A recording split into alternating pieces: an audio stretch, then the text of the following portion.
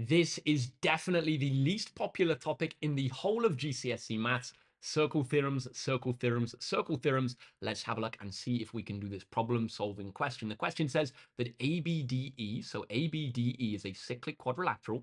ABC and EDC are straight lines.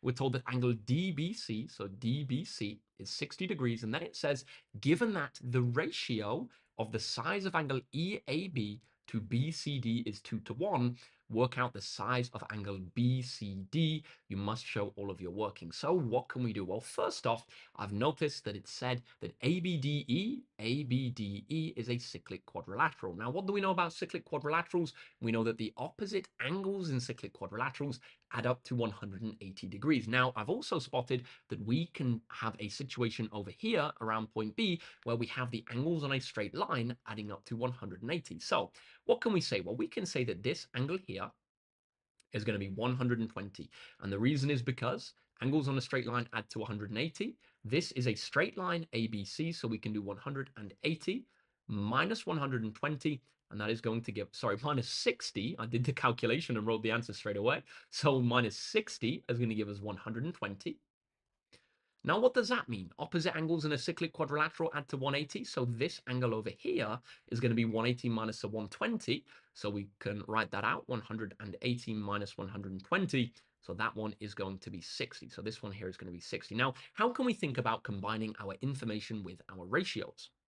we're told that the ratio of EAB, so EAB to BCD is 2 to 1. Now, what does that mean? It means it's twice as big. So if we said that angle BCD was X, then angle EAB is going to have to be double that, so it's going to have to be 2x. So this one over here is going to have to be 2x.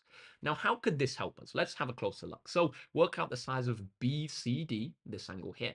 Now what I've noticed is that we actually have a larger triangle ACE.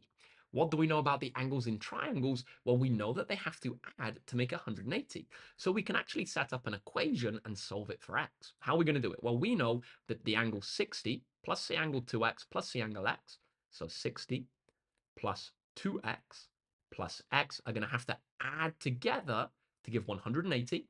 Now we can rearrange this for x. 2x plus x is going to be 3x. And then I'm also going to minus 60 from both sides to get 120 on the right-hand side. Now to get the x on its own, I can divide by 3. We're going to get that x is equal to 40. The question asked for the size of angle BCD, BCD. So we've now worked out the size of the angle because the angle BCD there is just x. So there we used a couple of circle theorems. We used the opposite angles in a cyclic quadrilateral